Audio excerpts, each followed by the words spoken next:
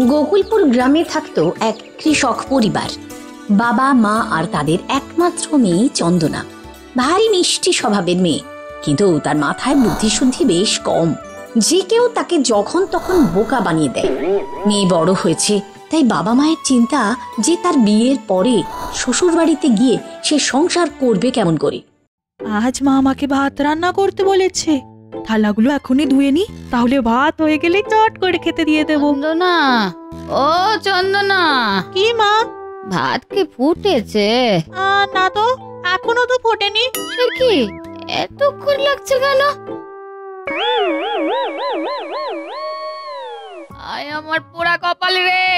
এ কি করেছিস তুই? কেন মা? তুমি যখন ভাতের হাঁড়ি চাপাতে বলেছ আমি তো তখনই চাপিয়েছি। উনুনে আগুন না দিলে জল কি নিজে ফুটবে? এমন বোকা মেয়ে নিয়ে যে আমি কি করি? সামনের মাসে তোর বিয়ে শ্বশুর বাড়ি গিয়ে যে কি করবি কে জানে? পরের মাসে ধুমধাম করে চন্দনার বিয়ে হয়ে গেল পাশের গ্রামের বিনোদের সঙ্গে তাদের মা আর ছেলের সংসার। সেখানে গিয়ে চন্দনা পড়ল দারুণ মুশকিলে। সব কাজেই বোকামি করে ফেলে আর তার শাশুড়ি সরলা যান তার উপরে রেগে। বৌমা। হ্যাঁ যাই। বলুন মা। এক্ষুনি কাপড়গুলো ভালো করে কেচে ধুয়ে বাক্সে গুছিয়ে রাখো। ঠিক আছে মা।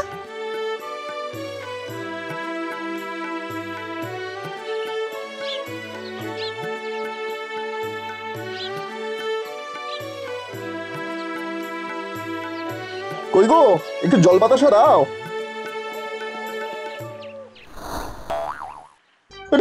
এ কি?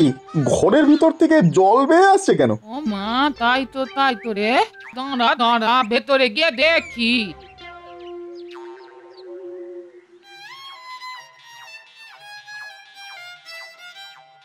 বৌমা বাক্সের মধ্যে এক গাদা ভিজে কাপড় ঢুকিয়ে রেখেছো কেন? তাই থেকে জল বেরিয়ে সারা বাড়িতে গড় আসছে। কেন মা? আপনি যে তখন বললেন কাপড়গুলো কেচে ধুয়ে বাক্সে তুলে রাখতে। ধোয়া কাপড় না শুকিয়ে বাক্সে তুলেছো? হায় হায় হায় হায় আমি কোথায় যাব গো? হ্যাঁ? তুমি ভিজে কাপড় না শুকিয়েই? এই হাসিস না বিনোদ। কাল থেকে তুই ওকে সঙ্গে করে খেতে নিয়ে গিয়ে চাষের কাজ শেখা। হ্যাঁ। পরের দিন থেকে বিনোদের সঙ্গে চন্দনাও খেতে যাওয়া শুরু করল। সে বিনোদকে চাষের কাজে সাহায্যও করতে লাগল। বিনোদও চেষ্টা করতো তাকে চাষের কাজ শেখাতে। কি গো বুঝতে পেরেছ কেমন করে মাটির নিচে বীজ লাগাতে হয়? মা জানতে চাইলে বলতে পারবে তো? খুব পারব এটা তো খুব সহজ কাজ। এখন না আমি আগের মতো আর বোকা নেই। আচ্ছা বলো দেখি কোন সবজির জন্য কি বীজ লাগাতে হয় বলো হ্যাঁ? হ্যাঁ আমি জানি তো। এই কুমড়োর জন্য কুমড়োর বিচি লাউয়ের জন্য লাউয়ের বিচি আর পটলের জন্য পটলের বিচি। হুম আর মাছ চাষ করতে হলে কি বীজ লাগবে? মাছ চাষ? আম, মাছ চাষ মাছ মাছের কাঁটা? বেশ কালকে আমি তোমাকে কি মাছের কাঁচা দেব? সেটা দিয়ে তুমি জমিতে মাছের চাষ করে দেখাও দেখি। তবে বুঝব তুমি কত সত্যি কথা বলছো। হুম? ঠিক আছে মা। সরলার কাছ থেকে মাছের কাঁটা নিয়ে চন্দনা পরের দিন তাদের জমিতে গেল। বিনোদ তাকে যেমন শিখিয়েছিল সেভাবেই সেখানে মাটি খুঁড়ে মাছের কাঁটাগুলো পুঁতে দিল। তারপর প্রতিদিন জল দিতে লাগল আর অপেক্ষা করতে লাগল কবে সেখানে মাছ ফলবে।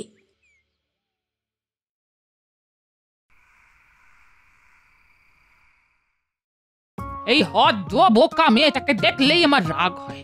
বাড়ি থেকে না তাড়ালে যেন আমার শান্তি এই যে মেয়ে তোমার মাছের চাষ কত দূর গো এখনও তো কি কিছু হয়নি। তবে এবারে নিশ্চয়ই হবে। হ্যাঁ। একটা কথা পরিষ্কার করে শুনে রাখো। আর এক সপ্তাহের মধ্যে যদি তুমি মাছ ফলাতে না পারো তাহলে আমি বুঝব যে তুমি আমাকে মিথ্যে কথা বলেছিলে।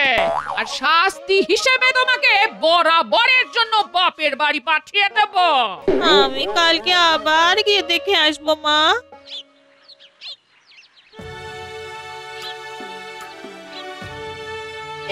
কি? একটা কাটা থেকেও তো মাছ গোয়া যায়নি। এবার আমি কি করব? হে ঠাকুর, হে ভগবান, আমায় বলে দাও আমি কি করব।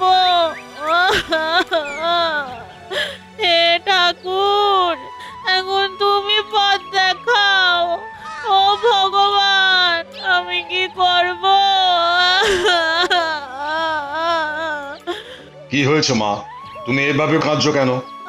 আমি আমি খুব বিপদে পড়েছি খুব বিপদে পড়েছি। বুঝেছি। তুমি চিন্তা করো না মা আজ বাড়ি যাও। ঠিক সাত দিন পরে তোমার শাশুড়ি মাকে নিয়ে এখানে আসবে তখন সব ঠিক হয়ে যাবে। তবে আমার কথা কিন্তু বাড়িতে কাউকে বলবে না।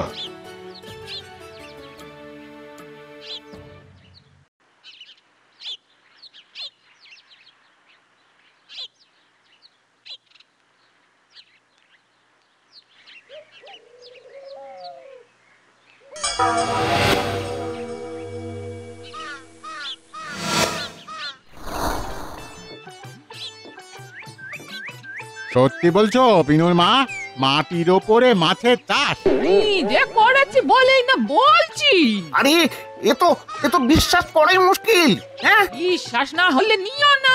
এক মাসের মধ্যে যদি মাছ না গজায় তো তিন গুণ টাকা আমি ফেরত দিয়ে দেব। বলো এখন নেবে কি নেবে না? বলো বলো। আরে না না না না না, দাও দাও দাও দাও দাও। নিয়েই দেখি না কি হয়। হ্যাঁ হ্যাঁ হ্যাঁ দাও দাও দাও। তাড়াতাড়ি দাও দেখি। তাড়াতাড়ি দাও তাড়াতাড়ি দাও।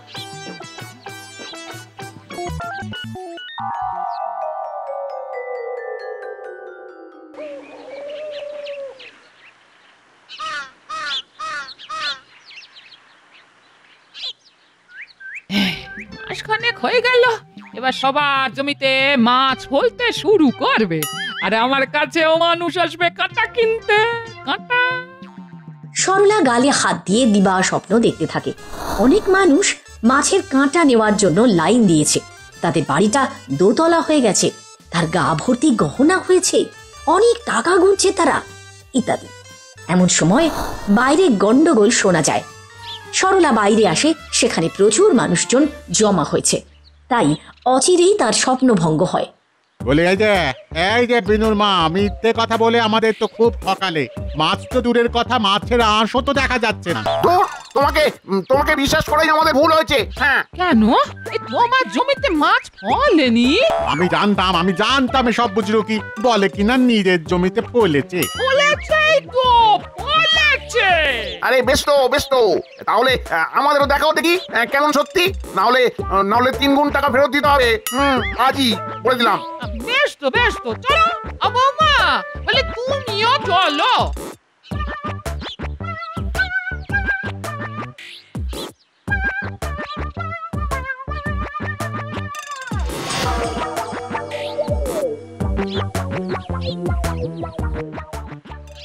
আরে জমিতে তো সত্যি সত্যি মাছ ফলে আছে দেখছি। আর মানে? আমাদের আমাদের বাজে জিনিস দিয়েছে। তবে এই মেয়ে জানে। ওই এই সব করেছে। বলি সত্যি করে বলো তো কি কার সাজি করেছ? বলো। সাধু বাবার কথা তো বলতে বারণ আছে এখন কি করি? আমি কিছুই করিনি মা। সব ঈশ্বরের আশীর্বাদ। ও সব বাজে কথাই আমাকে বোকা বানাতে পারবে না। ঠিক করে বলো ব্যাপারটা কি? না হলে কিন্তু ভালো হবে না। শান্ত হও। চন্দনা সত্যি কিছু করেন। যা দেখছে সবই মায়া। খেতে কখনো মাছ চাষ হয় না। কিন্তু এই মেয়েটিকে বাড়ি থেকে তাড়ানোর জন্য ও শাশুড়ি ওকে এমন একটা অবাস্তব কাজ করতে বলেছিল। সেই অত্যাচার থেকে মেয়েটিকে বাঁচানোর জন্য আমি এই মায়া সৃষ্টি করেছিলাম। ছি মা ছি ছি ছি ছি ছি। তুমি এইভাবে চন্দনাকে তাড়াতে চেয়েছিলে? ছি। ছি ছি ছি এ তো খুবই অন্যায় কাজ। এটা তুমি মোটেই ঠিক করনি বিনোদের মা। সরল মনের মানুষ হওয়া কোনো অন্যায় নয় মা। কিন্তু সরলতার সুযোগ নিয়ে কাউকে বিপদে ফেলা অন্যায় ঘোরতর অন্যায়। ভালো মানুষের বিপদে যে ভগবান তার সহায় হন সেটা দেখতে পেলে তো? এই যে বলি আমার ক্ষমা করে দাও বৌমা ক্ষমা করে দাও। আমি আমার ভুল বুঝতে পেরেছি। আমায় ক্ষমা করে দাও। এভাবে বলবেন না মা এভাবে বলবেন না। চলুন আমরা আমরা এখন বাড়ি চলে যাই। এরপর তার স্বামী ও শাশুড়িকে নিয়ে সুখে ঘরকন্যা করতে থাকে চন্দনা।